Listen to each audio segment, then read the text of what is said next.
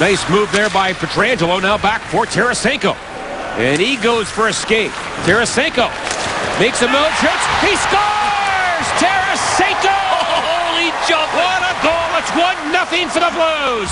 Oh, he did a little dancing there, bought himself some time, and put himself in a quality scoring area.